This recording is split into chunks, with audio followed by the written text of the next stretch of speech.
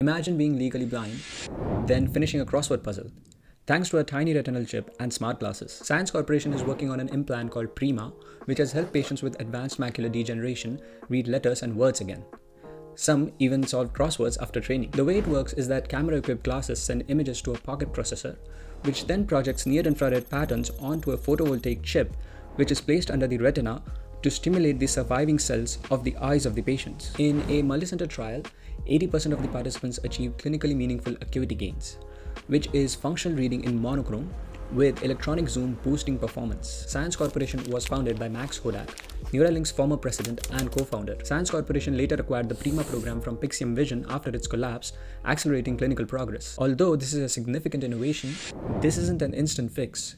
Patients spend months practicing scanning texts and interpreting grayscale signals with 27 of 32 reported real world reading at home. Restoring readable, usable vision, even if grainy, is a leap for patient independence today and a launchpad for higher resolution implants, wider access, and true everyday tasks like reading labels and recognizing faces.